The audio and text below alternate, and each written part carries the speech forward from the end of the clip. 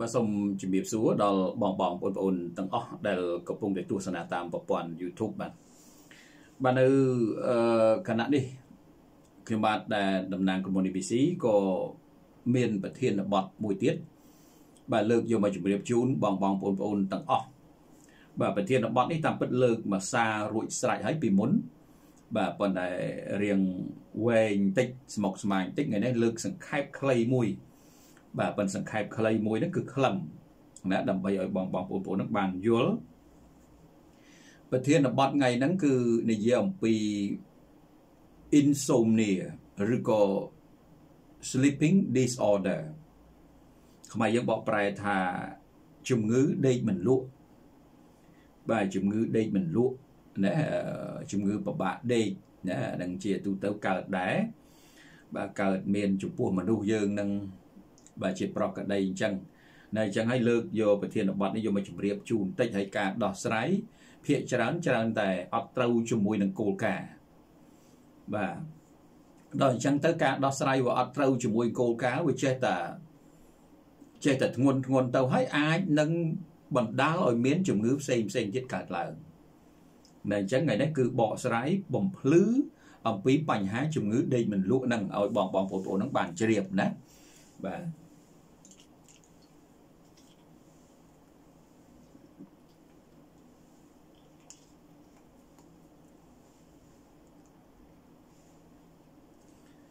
បាទមុននឹងចូលទៅដល់ជំងឺដេកមិនលក់បាទក៏សូមជម្រាបជូនដែរថានេះជាកម្មវិធីពន្លឺសុខភាពហើយកម្មវិធីពន្លឺសុខភាពនេះមានការឧបត្ថម្ភដោយក្រុមហ៊ុន ABC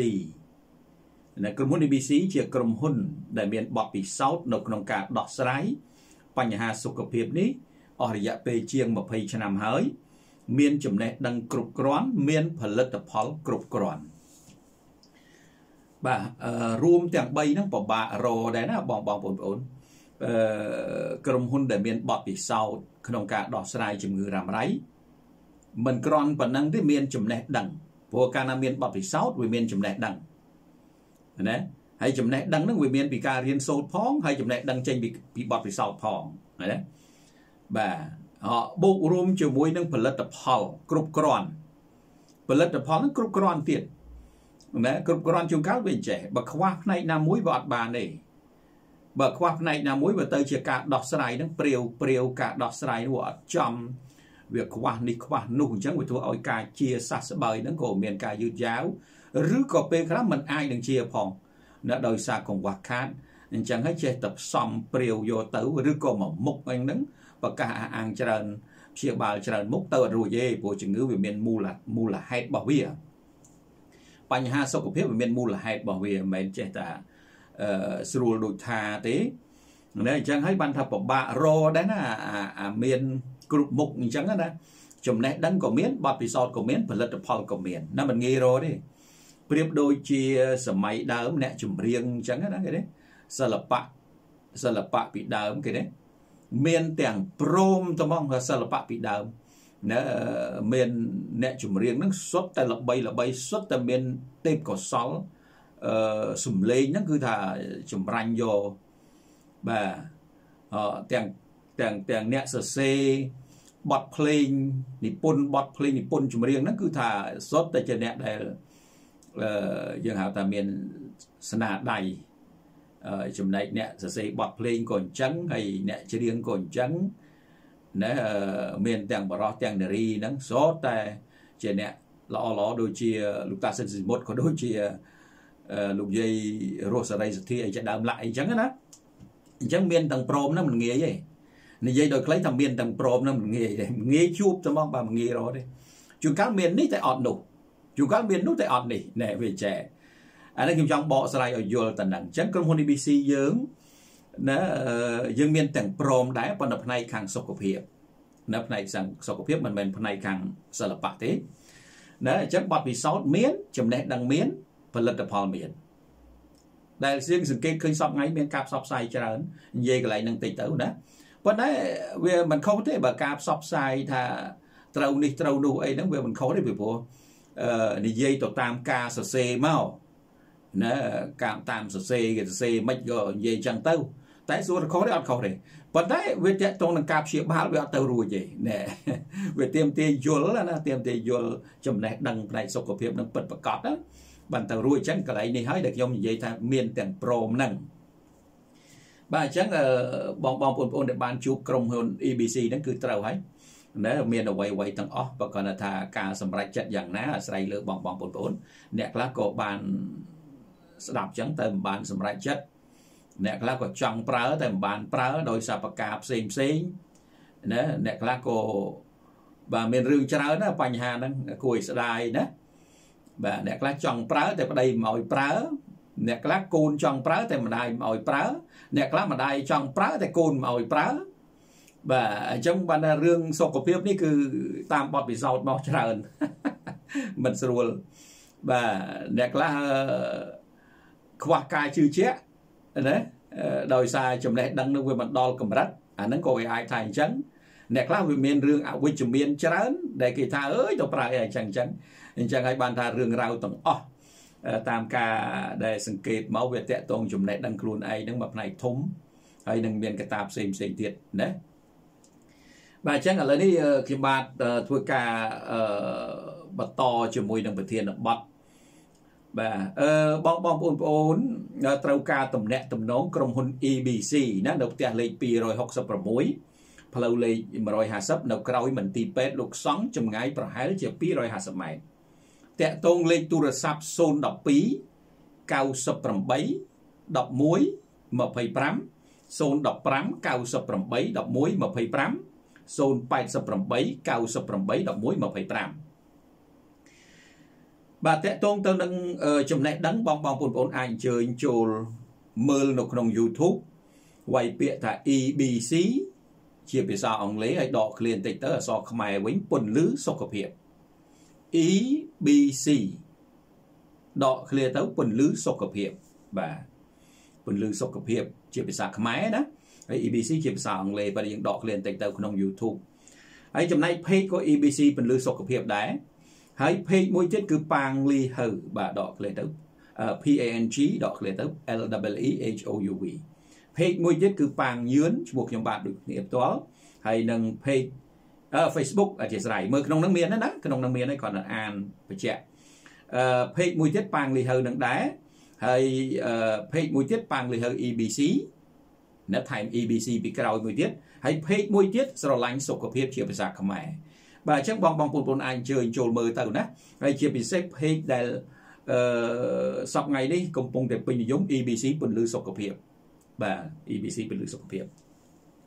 អញ្ចឹងខ្ញុំបាទចូលទៅដល់ជំងឺតែម្ដងនិយាយអំពីជំងឺដេកមិនលក់អាហ្នឹងជាជំងឺដែរណាដែល sleeping disorder ឬក៏ insomnia ណាភាសាខ្មែរថាជំងឺដេកមិនលក់ដេកមិនលក់ហ្នឹងវាមានជំងឺដែរមិនអត់ជំងឺទេស្អីជំងឺអាហ្នឹង ព្រោះអានឹងវាជះអតិពលខ្លាំងទៅលើសុខភាពណាស់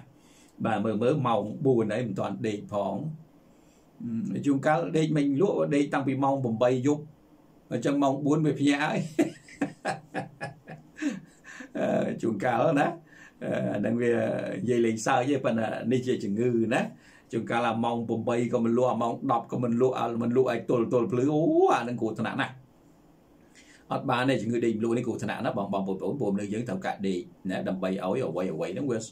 វាវាសម្រាក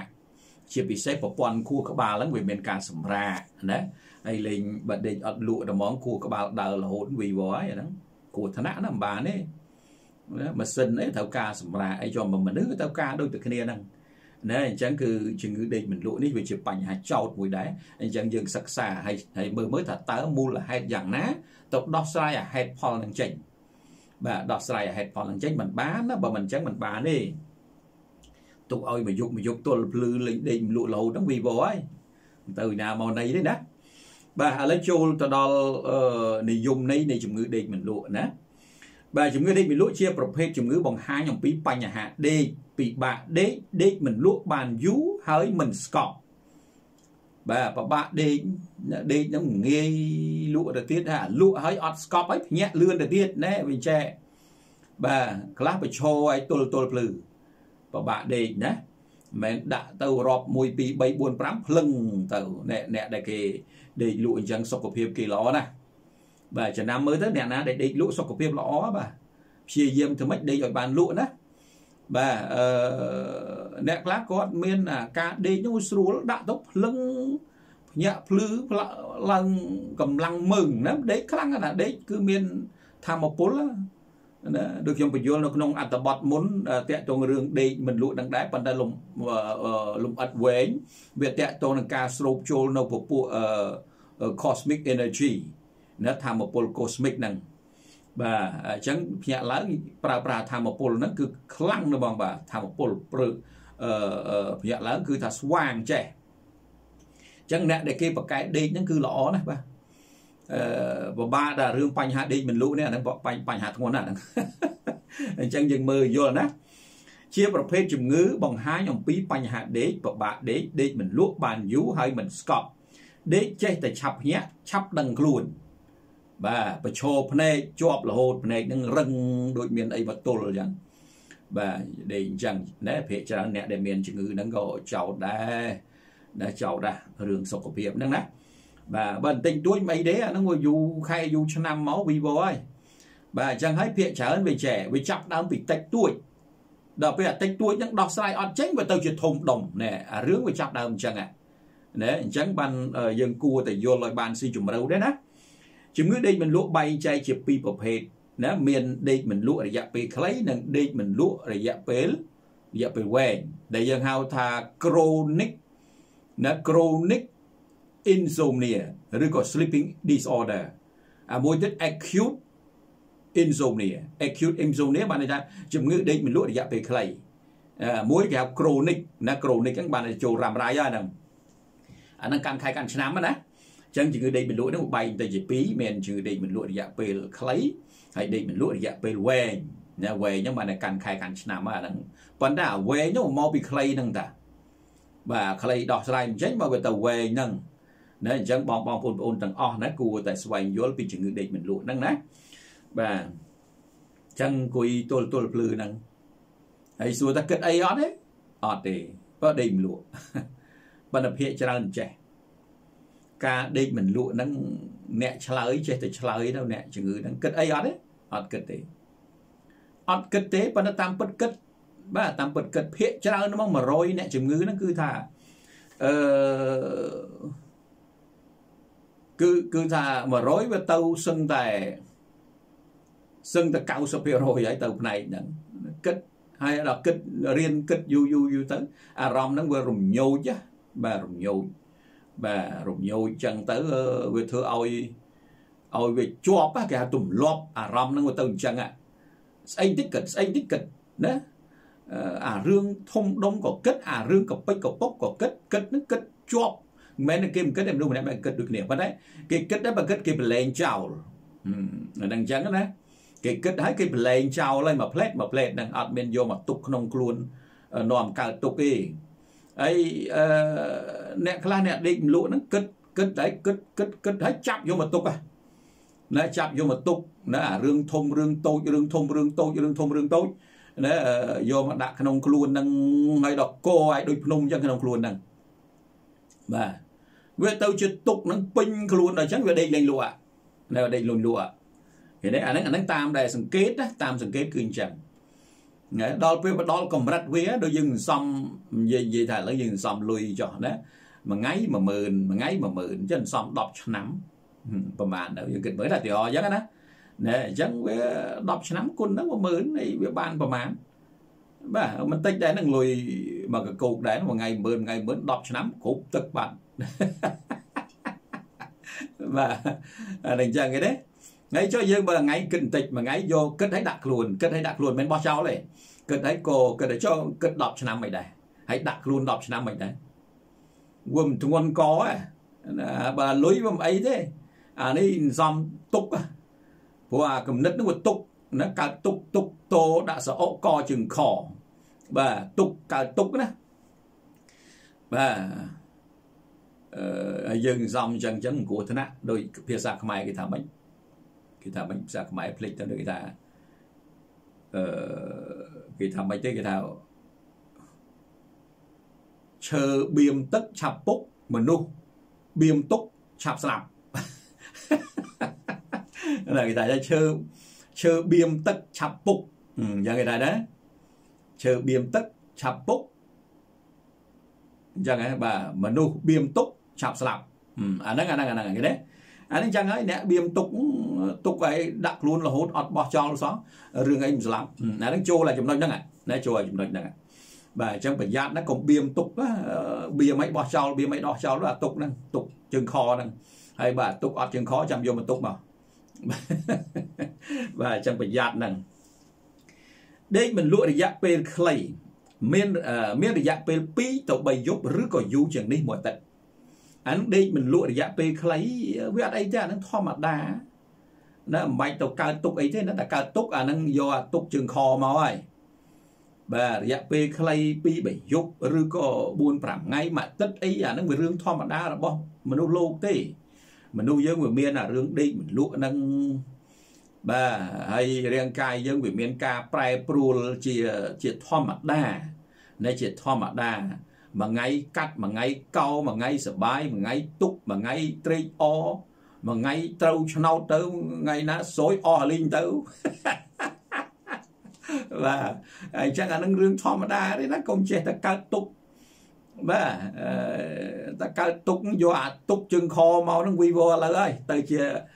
ដេកមិនលក់រយៈពេលវែងឥឡូវហើយណាបាទអញ្ចឹងប្រយ័ត្នអាហ្នឹងណាសូមផ្ដាំផ្ញើបងបងប្អូនប្អូនប្រយ័ត្នមែនតើ អញ្ចឹងអានឹងរឿងធម្មតាណាដេកមិនលក់មួយថ្ងៃពីរថ្ងៃអីមួយយប់ពីរយប់អីវាជារឿងធម្មតាទេកុំទៅកើតទុកអីនោះណាជួនកាលមានរឿងហេតុអីយើងគិតបន្តិចបន្តួចហើយយើងរសាយចោលទៅណារសាយចោលកុំបៀមយកមកទុកអីព្រោះអាហ្នឹងបៀមយូរហ្នឹងគឺអួតឈាមមកហើយណាតែបៀមយូរយូរផ្ទុះក្ដុងអញ្ចឹងអាហ្នឹងដេកមិនយក់មិនលក់រយៈពេលខ្លីយើងហៅថា acute uh,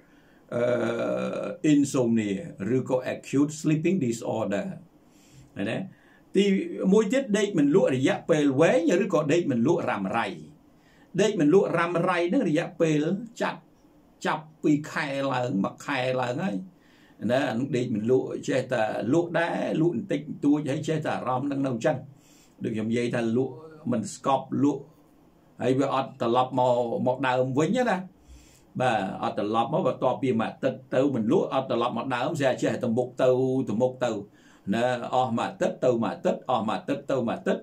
ណា4អាទិត្យហ្នឹងកាន់ខែ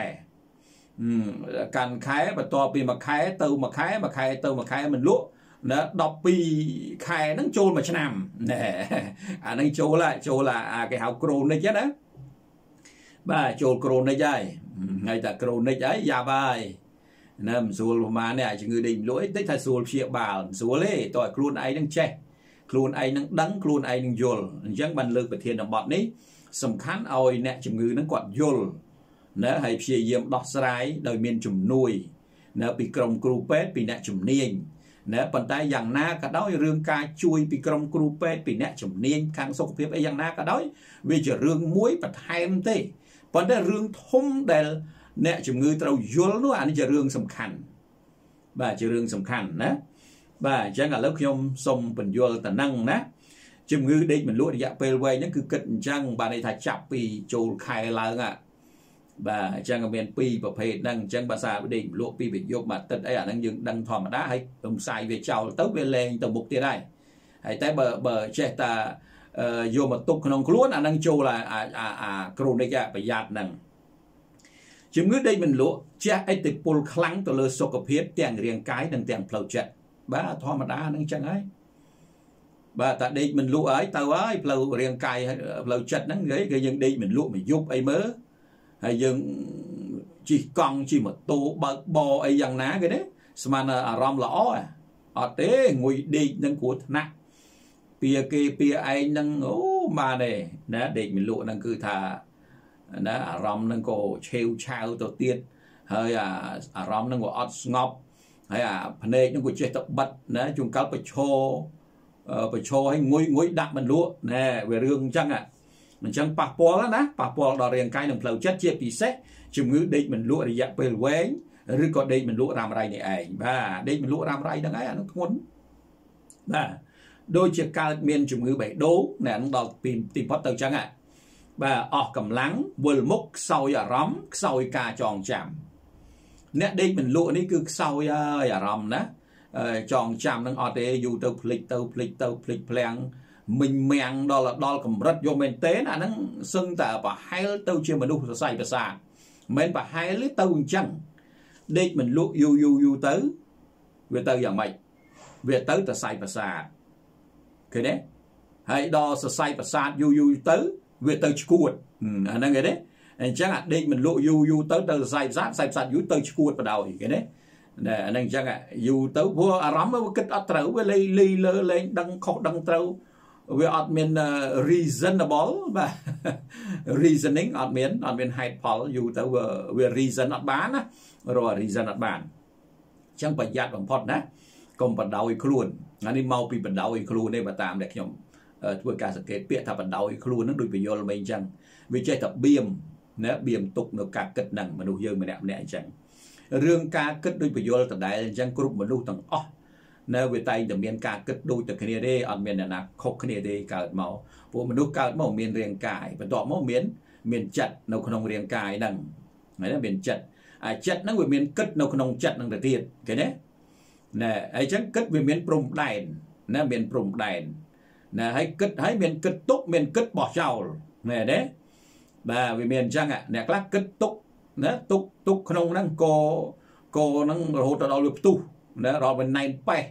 បាទដល់ផ្ទុះហ្នឹង error ហើយបើ computer error បដ ாய் ដូចយើងផ្ទុកឯកសារអញ្ចឹងណា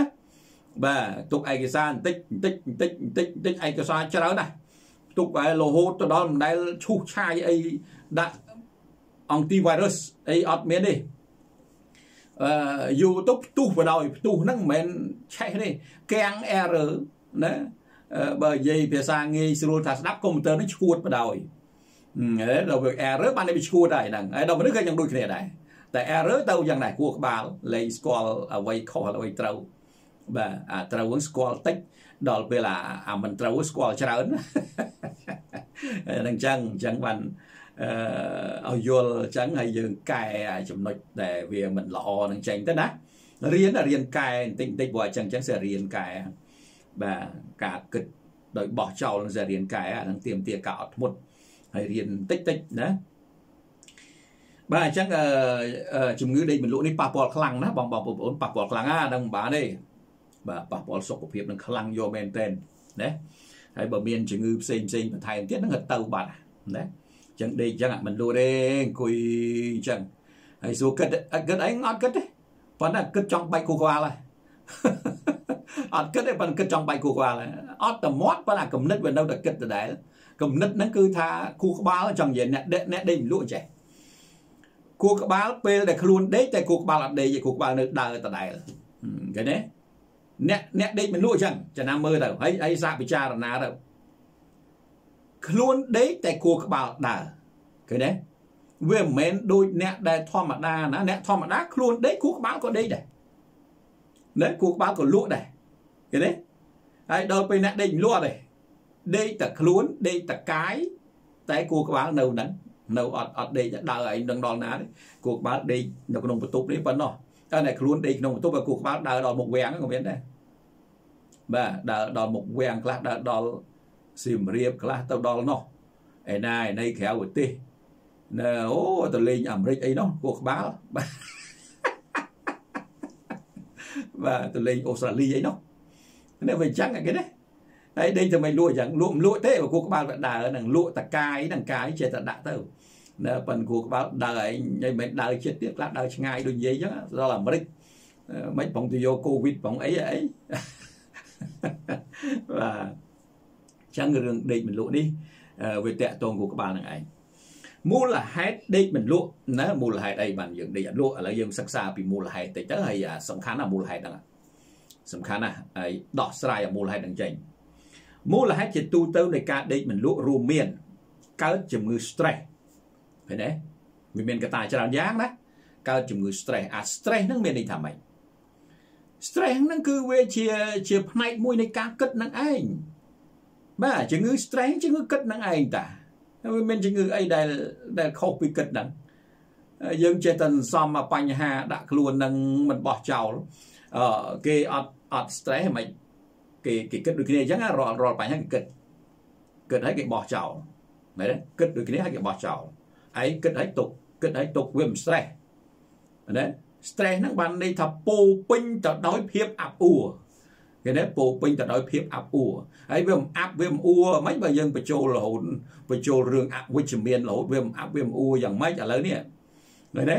អញ្ចឹងយើងអត់ចោលផងហ្នឹងយកមកទុកសម្រាមពេញគួរក្បាលហ្នឹងបាទសម្រាមហ្នឹងហ្នឹងគេបោះចោលតាគេគិតហើយគេបោះចោលគេយកមកបោះចោលហើយយើងយកសម្រាមមកដាក់ក្នុងគួរក្បាលវាមិន stress ឃើញទេអារឿងមនុស្សគិតដូចគ្នាគ្មានណាអត់ចេះគិតទេឃើញទេ ណាប៉ុន្តែម្នាក់យកមកទុកក្នុងគួរក្បាលម្នាក់គេបោះចោលហើយទុកហ្នឹងទុកមិនមែនមិនមែនអារឿងល្អទៀតណាអ្នកអ្នកអញ្ចឹងអញ្ចឹងមិនសូវទុកអារឿងល្អទេច្រើនទុករឿងអាក្រក់ទៀតអញ្ចឹងបានហៅថាសម្រាមហ្នឹងឯងបាទអញ្ចឹងគួរតែយល់ណាគួរតែយល់ឲ្យស៊ីជម្រៅមែនតើនឹងរឿងហ្នឹងគឺបើយើងយល់ច្បាស់យើងអត់ចេះអត់អត់ចេះ stress អត់ចេះកើតទុកហើយក៏អត់មានបញ្ហារឿងដេកពួនដែរ យ៉ាងច្រើនវាមានបញ្ហាផ្សេងផ្សេងមិនឲ្យយើងដេករយៈពេលខ្លីតែប៉ុណ្ណឹងប៉ុន្តែចេះកែខ្លួនឯងមកវិញយ៉ាងស្រួលបាទយ៉ាងស្រួលអត់ពិបាកទេអញ្ចឹងមកពីមានជំងឺ stress ជាធំអាហ្នឹងធំអាជំងឺ stress មេហើយមេអាហ្នឹងមេមេធំហើយដែលនាំឲ្យដេកលួហ្នឹងឯងណាបាទជួនកាលវាចេះទៀតតាក់តងនឹងម៉ោងដេកមិនទៀងទាត់ម៉ោងដេកមិនទៀងទាត់នោះក៏ជាផ្នែកមួយណាផ្នែកមួយយ៉ាងម៉េចមានន័យថាជួនកាលដេកម៉ោង10ចឹងទៅ ណាពេលខ្លះមិនដេកម៉ោង10ដេកម៉ោង11ពេលខ្លះមកដេកម៉ោង8វិញឃើញទេអាហ្នឹងអត់អត់ដេកអត់ទៀងទាត់វាអត់កំណត់ព្រោះកាលណាយើងមានទៀងទាត់មកថាឥឡូវម៉ោងមិន10មិន10ចឹងមកណាអត់អត់មានឲ្យខុសម៉ោងឲ្យតែម៉ោង10ឬក៏យើងកំណត់យកម៉ោងណាយើងដេកម៉ោងហ្នឹងទៅបងបាទដើម្បីឲ្យវាមានទម្លាប់មួយគឺដេកភ្លាមលក់ភ្ញាក់ឡើងម៉ោង5ភ្លាមបណ្ដោយឃើញទេ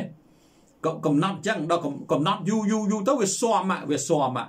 ណាហើយដល់ពេលអ្នកដេកលក់គាត់រើម៉ោងរហូតរើម៉ោងម៉ោងនឹងអត់មាននៅនឹងទេបន្តិចម៉ោងនេះបន្តិចម៉ោងនោះបន្តិចម៉ោងនេះបន្តិចម៉ោងនោះដល់អញ្ចឹងវាទៅជាធ្វើឲ្យអាអាខួរក្បាលដែលដេកហ្នឹងវាលប់វាដែរដល់ខួរក្បាលហ្នឹងវែងវាមិនដឹងថាម្ចាស់អញត្រូវដេកម៉ោងណាម៉ោងណីទេអញម្ដងនេះ ណាជួនកាលលោតឯទៅម៉ោង2 10យប់ទៅអញ្ចឹងខួរក្បាលវាត្អូញត្អែវាវិលដែរណាយូរទៅដូចបង្វិលខួរក្បាលរហូតណាអានឹងជាបញ្ហាដែរអញ្ចឹងដេកមលក់យើងចំណាំមើលមកអញ្ចឹងប៉ុន្តែរឿងធំរឿង stress ហ្នឹងដែរណាហើយមួយទៀតក៏អញ្ចេះដែរដេកមិនលក់ហ្នឹងដោយសារមានទម្លាប់ដេកតិចជួនកាលអ្នកខ្លះគាត់ទម្លាប់ដេកអត់ច្រើនទេអាហ្នឹងជារឿងធម្មតារបស់មនុស្សដែរយើងមិនមែនហៅថាដេកមិនលក់ទេអាហ្នឹងគាត់ដេកតិចអញ្ចឹងទម្លាប់តាំងពីក្មេងមក ដែលធម្មតាមនុស្ស8ម៉ោងគាត់ដេកទៅ7ម៉ោង5ម៉ោង6ម៉ោងអីចឹងគ្រប់ហើយណាវាមានទម្លាប់មនុស្សប្រភេទចឹងដែរបើមានតិចតួចណាបាទនឹងយល់អញ្ចឹងតកតងនឹងមូលហេតុវាមានច្រើនយ៉ាងហើយយើងត្រូវសង្កេតណាមួយទៀតបញ្ហាសុខភាពផ្លូវចិត្តណាដូចជាជំងឺអន្ទះសារបាទហ្នឹងក៏ចឹងដែរនាំឲ្យដេកមលក់ចឹងដែរមនុស្សនោះវាមានជំងឺមួយផ្នែកគេហៅជំងឺអន្ទះសារ ជំងឺអន្ទះសារបានន័យថាម៉េចបានន័យថាជាជំងឺមួយដែលយើងអត់មានការអត់ធ្មត់ណាអត់ធ្មត់អញ្ចឹងអាអន្ទះសារហ្នឹងក៏ជាប្រភេទជំងឺមួយដែរហើយចេះក៏ជាជំងឺដែលសន្សំចឹងដែរសន្សំយូរឆ្នាំដែរដូចគ្នាចឹងណាជំងឺផ្ទះសារហ្នឹងដែល anxiety ភាសាអង់គ្លេសហៅ anxiety ណាផ្ទះសារបានន័យថាគាត់គាត់អត់ចេះអត់ធ្មត់រឿងអីក៏ដោយគាត់ផ្ទះសារយកក៏ដោយ បើថាចង់បានចង់បានឥឡូវចង់ជួបគេចង់ជួបស្អែកឥឡូវហ្មងមិនដឹងថាគេរវល់គេអីទេណាណាវាអញ្ចឹងហើយដល់ពេលគេមិនបានមកជួបខឹងណែហើយអន្ទះសាវាត្រូវជាមួយនឹងរឿងខឹងនឹងដំបងទៀតណាណារឿងអត់ចេះអត់ធ្មត់នឹងទៅទៀតអញ្ចឹងអានឹងក៏ជាបញ្ហាផ្លូវចិត្តដែរណា អឺវាខ្វះការអត់ធ្មត់ដល់អញ្ចឹងវាធ្វើឲ្យអារម្មណ៍នឹងលែងសូវល្អហើយការដែលយើងសំបញ្ហាអញ្ចឹងបន្តិចបន្តិចបន្តិចបន្តិចវាកើតទៅជាអាលើវិញគឺ stress វិញម្ដងឃើញទេអ្នកខ្លះ stress ពីរឿងអញ្ចឹងទៅវិញអ្នកខ្លះ stress ពីរឿងផ្សេងណាវាវារឿងខុសៗគ្នាអញ្ចឹងណាបាទអញ្ចឹងហើយបានបញ្ហាអឺ stress ហ្នឹងវាវាច្រើនយ៉ាងច្រើនប្រភេទណាអញ្ចឹងអ្នកដែលដេកមិនលក់នេះក៏មានបញ្ហាផ្នែកផ្លូវចិត្តជាពិសេសអាការអត់ចេះអត់ធ្មត់ហ្នឹងកើតមានផ្ទះសាឆាប់ពេកហ្នឹងវាវាទៅជាបកកបញ្ហាបន្តបន្តគ្នាហើយទីបំផុតសំបញ្ចូលគ្នាទៅរឿងធំណារឿងដេកមិនលក់បាទអញ្ចឹងគឺកើតមានជំងឺផ្ទះសាហ្នឹងក៏អញ្ចឹងដែរហើយផ្ទះសាហ្នឹងសួរថាត្រូវព្យាបាលរបៀបម៉េចអាហ្នឹងអត់ធ្មត់មិនបាន យើងត្រូវដឹងថាអ្វីអ្វីវាត្រូវការពេល បាទវាមិនបានទៅតាមតែចិត្តដែលយើងចង់ទេអ្វីអ្វីនោះនៅបើចេះតែចង់បានតន់ចិត្តអញ្ចឹងធ្វើស្អីក៏បានដូចតែគ្នានឹងឯងអ្នកណាក៏ចង់លឿនអ្នកណាក៏ចង់ឆាប់អ្នកណាក៏ចង់បានចង់មានលះដូចតែគ្នាហ្នឹងក៏ប៉ុន្តែធ្វើមិនអាហ្នឹងវាជាពេលវេលាណាដល់យើងយល់អញ្ចឹងទៅយើងអត់មានផ្ទះសាកើតទេហើយក៏យើងក៏អត់មានអាជំងឺផ្នែកផ្លូវចិត្តហ្នឹងដែរឃើញទេអាហ្នឹងក៏អញ្ចឹងដែរយើងយល់អញ្ចឹង ជំងឺបាក់ទឹកចិត្តណាកើតមានជំងឺបាក់ទឹកចិត្តហ្នឹងក៏មានដែរក៏ដេកមលូដែរដោយសារកត្តាផ្សេងផ្សេងប៉ុន្តែជំងឺទាំងអស់ហ្នឹងគឺវាភាកច្រើនវាបើវាវាវានាំឲ្យដេកមលូឲ្យជំងឺអស់ហ្នឹងណាអានឹងវាក្នុងរឿងដដែលបើយើងវិភាគទៅរឿងដដែលបាក់ទឹកចិត្តដោយសារកត្តាផ្សេងផ្សេងវាមិនបានជ័យជំនះវាមិនបានជួបមុខវាមិនបានស្អីស្អីអស់ហ្នឹងអានឹងវាធ្វើឲ្យបាក់ទឹកចិត្តវាមិនមានពីណាលើកទឹកចិត្តវាចេះតែគេបង្អាប់ ចេះតែគេជន់ចេះតែគេជេរណាដល់យូរទៅបាក់ទឹកចិត្តអានេះអារឿងគេជន់គេជេរគេបង្អាប់គេស្អីណារឿងរបស់គេសុទ្ធសាកប៉ុន្តែយើងមិនចេះតែយកមកដាក់ខ្លួនហើយដល់យកមកដាក់ខ្លួនអញ្ចឹងវានាំឲ្យដេកលេងលួឃើញទេរឿងរបស់គេតានឹងអំពើបាបរបស់គេតាគេជន់គេជេរគេហ្នឹងសិតតែផ្ទោស័ករបស់គេហ្នឹងហើយយើងទៅយកមកដាក់ខូចចិត្តអីដែរណាហ្នឹងហ្នឹងហើយអត់យល់ណា រឿងការប្រព្រឹត្តអំពើបាបរបស់គេសុទ្ធគួរអាណិតគេវិញទេតាមពិតនោះតែយើងមិនចឹងបែរទៅយកមកដាក់ខ្លួនទៅវិញណែអាហ្នឹងឲ្យអត់យល់អត់យល់ហ្នឹងយ៉ាប់ហើយគេណាអញ្ចឹងយើងកែវិញរឿងបាក់ទឹកចិត្តដោយសារអឺស្អីស្អីផ្សេងអញ្ចឹងទៅយើងវាមានអីត្រូវបាក់ទឹកចិត្តហ្នឹងមានកាច់កើតឯណាទឹកចិត្តហ្នឹងណាអញ្ចឹងមិនចាំបាច់បាក់ទេ ណាជំងឺខូចចិត្តគិតច្រើនណាខូចចិត្តពីនេះពីនោះហ្នឹងសិតតែអញ្ចឹងហើយបានតែរឿងដេកមលក់នេះវាពាក់ព័ន្ធកតាអស់ហ្នឹងបាទកតាអស់ហ្នឹងណាអញ្ចឹងយើងយើងដឹងរឿងរឿងមូលហេតុសំខាន់ណាមូលហេតុហ្នឹងណាហើយកែអាមូលហេតុហ្នឹងអាកែមូលហេតុហ្នឹងចេញណាសឹងតែគ្មានបាច់លេបថ្នាំអីដូចជាបាត់ហើយបាទបើកែបានគឺជាបដ ாய் យល់ស៊ីជំរឿជាបដ ாய் អត់មានចាប់បាច់ចាប់បាច់គ្រូណាមកព្យាបាលទេជាឯងឯងនឹងឯងប៉ុន្តែភាកច្រើនដែលខ្ញុំសង្កេតពិបាកកែ មូលហេតុពិបាកកែដោយសារអីដោយសារតែអ្នកជំងឺខ្លួនឯងហ្នឹងគឺគឺគាត់អត់យល់ហើយបើសិនគាត់យល់ម្លេះប្រហែលជាគាត់អត់កើតជំងឺដេញមលូទេណែឃើញទេប៉ុន្តែភាកច្រើនអញ្ចឹងហើយប៉ុន្តែសួរថាចោខ្ញុំចង់យល់ដែរមិនក៏ខ្ញុំអាចយល់បានអាការយល់មិនមែនភ្លាមយល់ទេ ត្រូវសំយល់នឹងតិចបន្តិចបន្តិចបន្តិចបន្តិចបន្តិចណាដល់យើងចង់ព្យាយាមយល់ចង់ព្យាយាមចេះមិនមែនចង់យល់ឥឡូវស្រាប់តែយល់ឥឡូវបានទេចង់យល់ស្អែកយល់ស្អែកបានទេតោះយើងណាយើងមើលអញ្ចឹងណាយើងមើលឲ្យវិភាគមើលឲ្យមើលទៀតមើលឲ្យរាប់រយរាប់ពាន់ដងអីទៅហើយមិនស្ដាប់តែប៉ុណ្្នឹងទេស្ដាប់រឿងច្រើនយកមកវិភាគហើយយកមក ពិចារណាអានឹងបានយល់បានណែវាចេះឲ្យជួនកាលតាក់តងចំណេះដឹងឲ្យយើងមិនចង់ស្ដាប់មិនចង់យល់ផងហើយទៅធ្វើម៉េចមិនកើតមកយល់បានឯណាវាមានចំណេះឯណាកើតមកភ្លាមដូច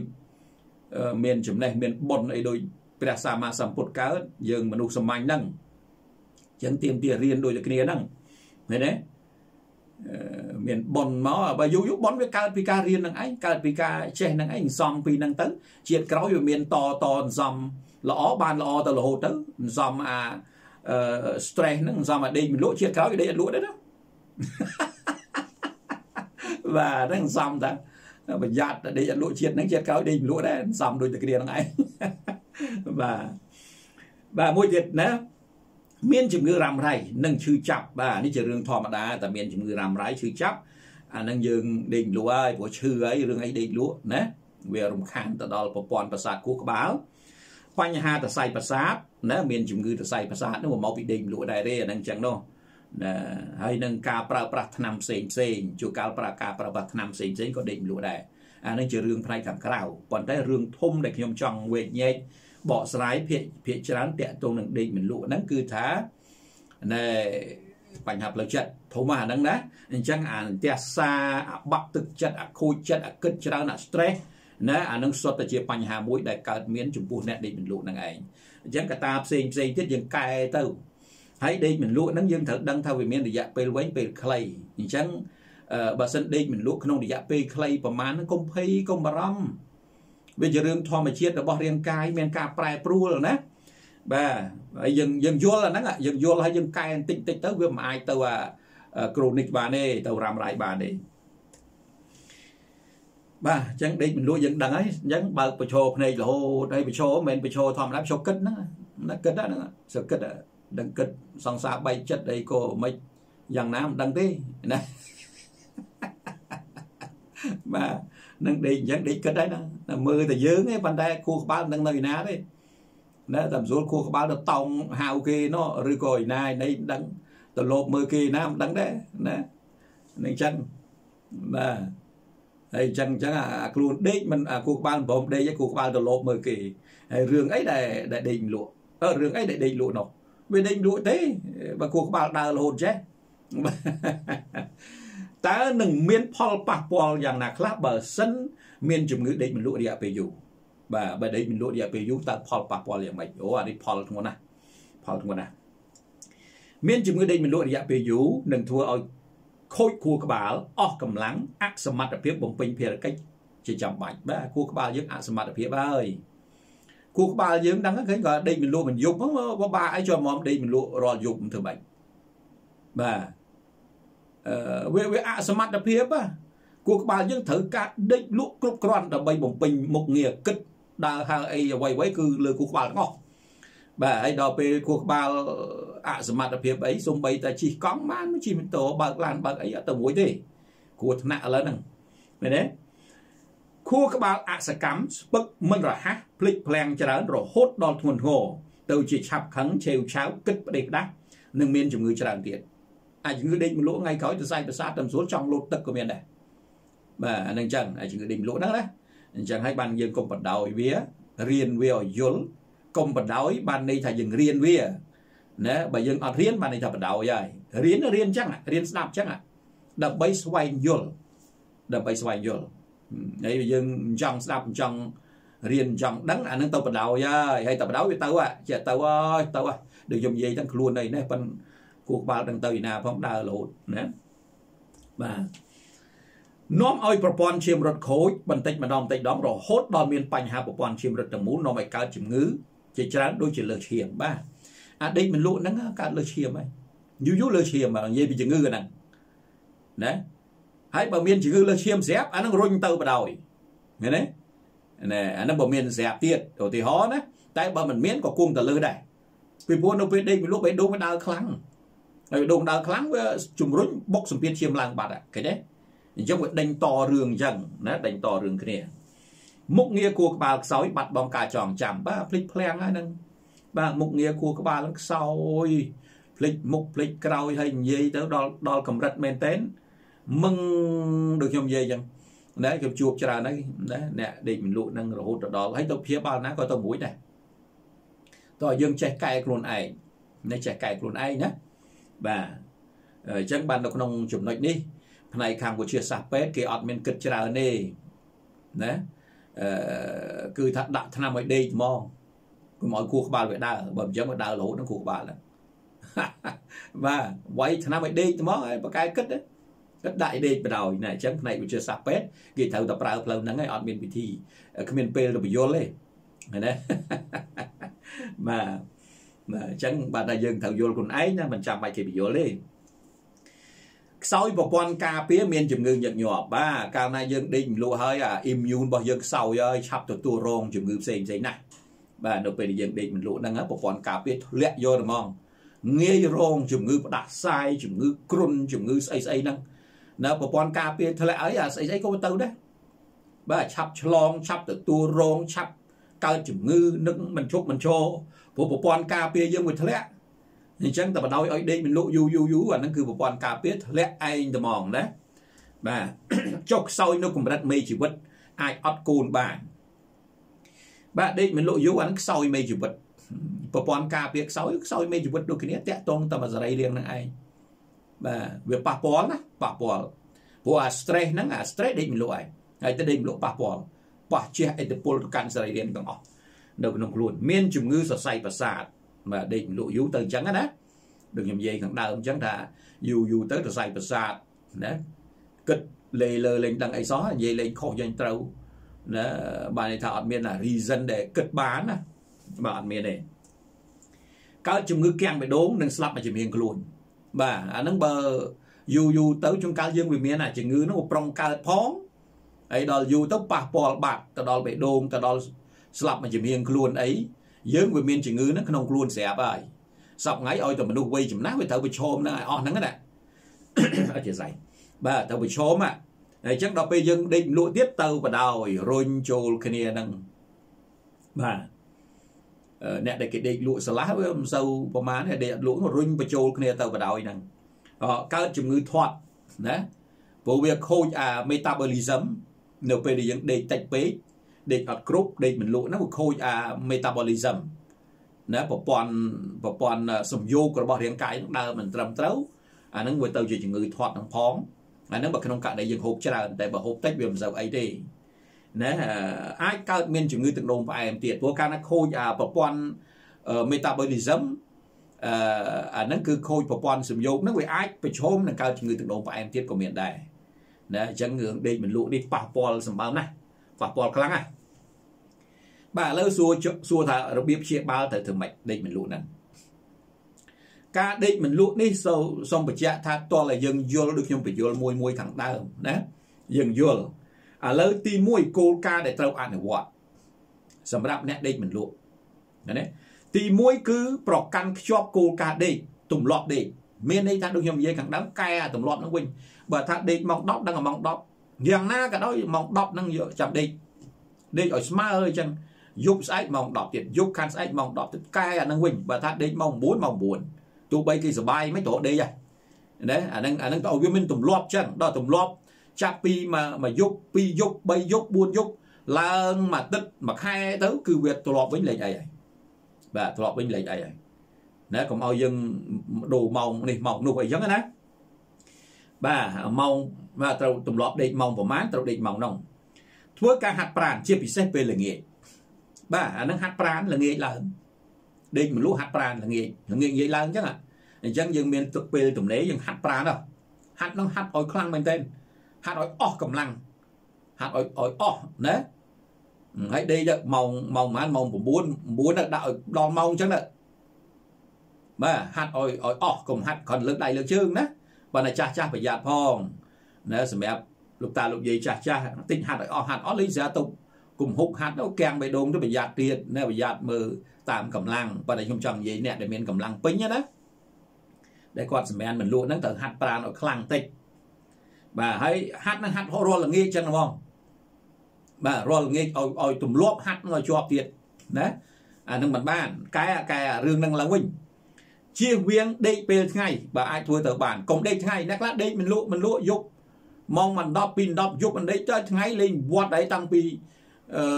ម៉ោង2ដល់10រហូតដល់ម៉ោង4ម៉ោង5ក៏មានដែរតែដេកចឹងឆ្អែតបាត់ទៅហើយហើយដេកឆ្អែតមិនលក់ទៀតណាហើយបើលក់ទៀតអានឹងអត់ស្រួលហើយវាទៅជាឈឺវិញណាណាអត់ទេមនុស្សថាដេកដេកឆ្អែតវាស្វាងហើយកម្លាំងពេញហើយហើយដេកមិនលក់ណាអញ្ចឹងប្រយ័ត្នបើអាចជៀសវាងបានកុំដេកថ្ងៃបដ ாய் នឹងបើអាច ណាតែបើបើសម្រានបានចាស់ចាស់សម្រានតិចទៅកន្លះម៉ោងអីក៏បានណាបើអាចហ្នឹងក៏កន្លះម៉ោងអីទៅចាស់ចាស់ហ្នឹងក៏អាចមានកម្លាំងដែរដេកថ្ងៃហ្នឹងក៏វាធ្វើឲ្យមិនថាថ្ងៃថាយប់ទេឲ្យតែដេកលក់មនុស្សយើងមានកម្លាំងហើយព្រោះកម្លាំងពីធម្មពល cosmic energy ណាអញ្ចឹងអានេះសុខខ្ញុំនិយាយរឿងអ្នកដេកលក់អីណាបាទអញ្ចឹងយើងបើជាអាចដេកថ្ងៃបានក៏ល្អដែរ ហាមផឹកកាហ្វេជាពិសេសពេលល្ងាចបាទកាហ្វេហ្នឹងបើបើកាហ្វេមានជាតិកាហ្វេអ៊ីនណាមានជាតិកាហ្វេអ៊ីនវាធ្វើឲ្យដេកលក់ឯងណាអញ្ចឹងយើងអ្នកដែលគាត់ស៊ាំហើយវាមិនអីទេ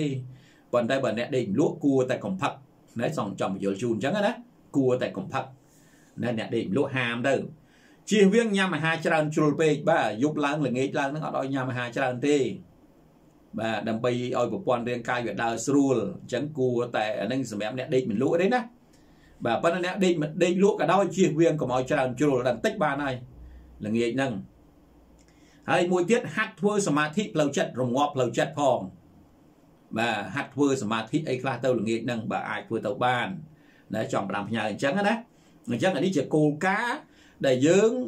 ត្រូវអនុវត្តសម្រាប់អ្នកដេកមិនលក់ណាសូមសូមសូមជួយមើលឲ្យមើលទៀតណា មើលឲ្យយល់មើលឲ្យយល់នឹងតាក់តងចំណុចហ្នឹងខ្ញុំបញ្យល់អស់ហើយអានឹងសម្រាប់ឲ្យបងបងប្អូនដែលមានជំងឺហ្នឹងអញ្ចឹងទី1ត្រូវអនុវត្តគោលការណ៍ហ្នឹងណា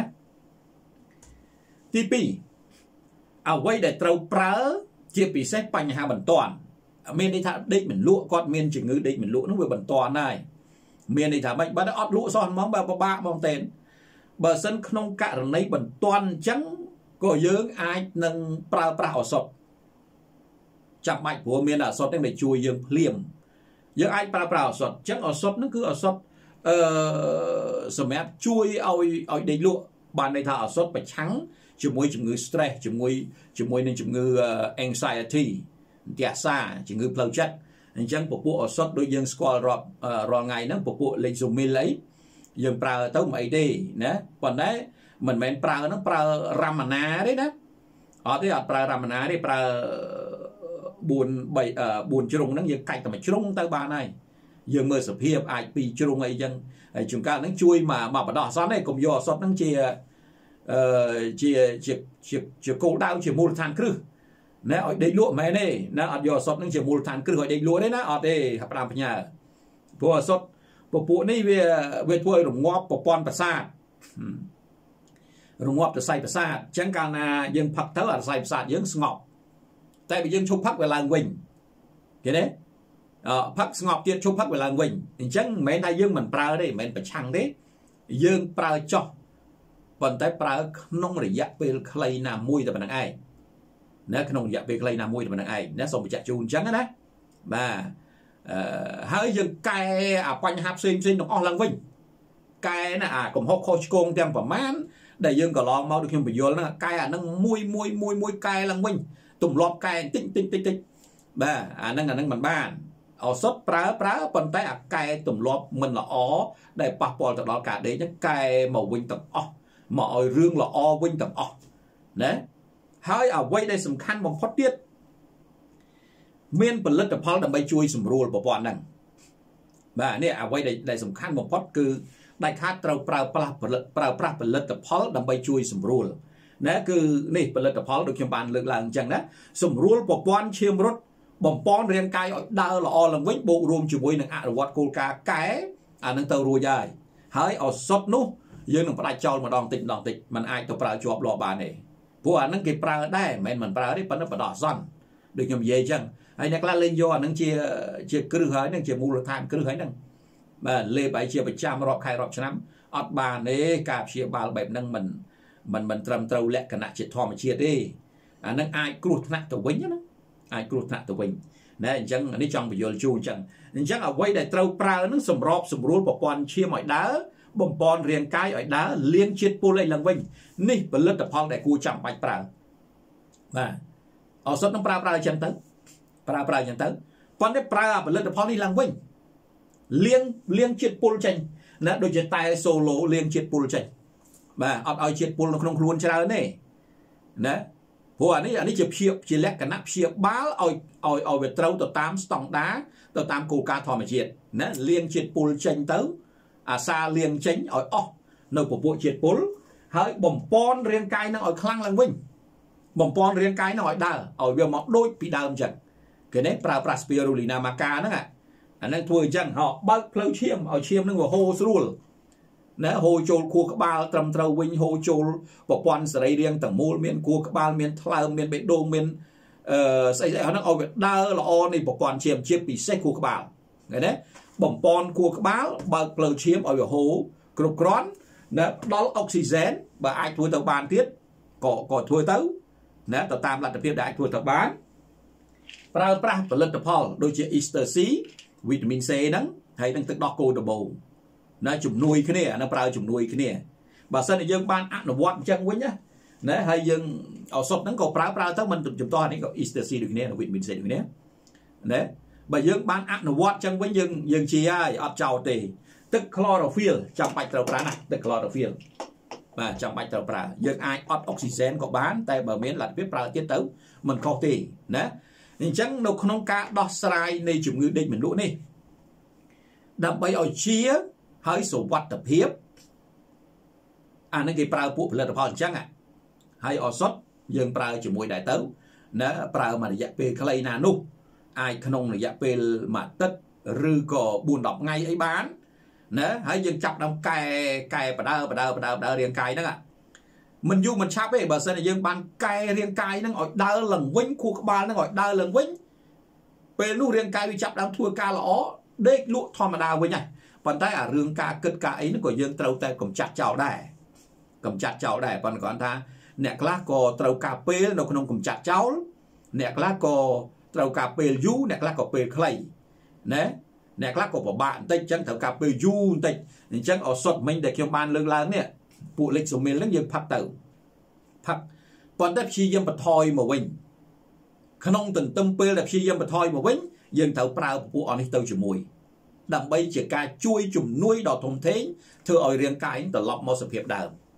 ចង់បញ្យល់ជូនអញ្ចឹងណាអញ្ចឹងបើសិនបងបងប្អូនប្អូនបានអនុវត្តនៅគោលការណ៍ហ្នឹងណាអានឹងគឺដេកលក់ស្រួលវិញហើយលេងអីហើយហើយពេលដែលលេខលក់ស្រួលវិញហើយយើងក៏យល់អានឹងយើងការពារខ្លួនយើងទៅជាមួយនឹងផលិតផលហ្នឹងណាហើយអារម្មណ៍ហ្នឹងគឺលេង stress ទៅអានេះជាការស្រេចណាអត់មានអីចោតតទៀតទេជាមួយរឿងដេកមិនលក់ នោះខ្លាចតែយើងចេះតែបៀមទុកនៅបញ្ហាហ្នឹងអានឹងខ្លាចហើយណាបញ្ហាហ្នឹងពិបាកណាស់អញ្ចឹងហើយបានសូមបញ្យល់ទៅដល់បញ្ហារឿងដេកមិនលក់ហ្នឹងប៉ុណ្ណឹងណាអញ្ចឹងបងបងប្អូនទាំងអស់បើសិនតែបានស្ដាប់ហើយណាហើយត្រូវការដោះស្រាយអីអញ្ជើញមកប្រឹក្សាយោបល់អីមានលេខទូរស័ព្ទក្នុងហ្នឹងហើយតាក់ទងមកណាខ្ញុំខ្ញុំជឿខ្ញុំជឿណាឲ្យតែបានអនុវត្តនៅគោលការណ៍នេះគឺល្អឡើងវិញហើយមិនអីទេណាហើយឲ្យតែធ្វើតាម ឲ្យតែធ្វើតាមណាធ្វើតាមដោយការបញ្យលដោយការណែនាំហ្នឹងគឺថា100%ត្រូវតែវិលត្រឡប់មកសភាពដើមវិញខ្លាចតែមិនធ្វើតាមទេណាយើងហើយជួនកាលការធ្វើតាមហ្នឹងមកវាការការដែលយើងវាខ្វះអ្នកប្រឹក្សាឲ្យយោបល់ហ្នឹងក៏វាបញ្ហាដែរជួនកាលស្ថិតនៅក្នុងចំណោមបាទរឿងអវិជ្ជមានច្រើនក៏ជាបញ្ហាដែរដូច្នេះអ្នកដេកមិនលក់យើងគួរតែខ្សែគប់ជាមួយនឹងមនុស្សវិជ្ជមានឲ្យបានច្រើន ណាជួនកាលយើងស្ថិតនៅក្នុងចំណោមអ្នកអវិជ្ជមានពិបាកដែរហ្នឹងណាខ្សែគប់ខុសអាខ្សែគប់ខុសហ្នឹងក៏កើតជំងឺដែរណាហើយបើខ្សែគប់ត្រូវអាហ្នឹងជាពីជំងឺណាអាហ្នឹងក៏ជាបញ្ហាដែរបាទអញ្ចឹងខ្ញុំបាទសូមធ្វើការបញ្យល់ប៉ុណ្ណឹងហើយសូមថ្លែងអំណរគុណច្រើនចំពោះបងប្អូនដែលបានតាមដានទស្សនាសូមជួយចែកចាយព័ត៌មានតតគ្នាណានៅប្រធានបទមួយនេះគឺតកតងទៅនឹងជំងឺដេកមិនលក់ណា ហើយអ្នកដេកមិនលក់គ្រប់គ្នាគឺអនុវត្តគោលការណ៍មកប្រើប្រាស់ផលិតផលកែរាងកាយនឹងចេញវិញទៅដេកលក់ឡើងវិញហើយបាទសូមអរគុណសូមជម្រាបលាជួបគ្នានៅប្រធានបទក្រោយៗទៀតបាទ